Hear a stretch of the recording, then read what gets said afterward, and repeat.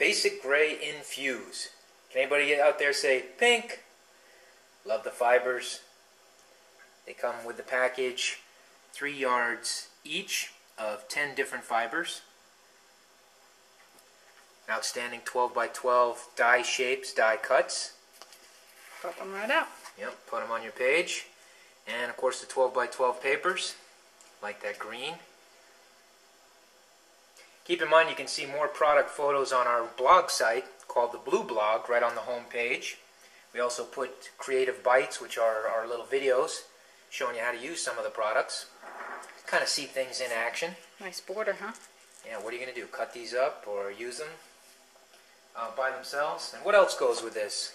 Hey, how about a Love Elsie little booklet, huh? Do those go great with this line? Yeah.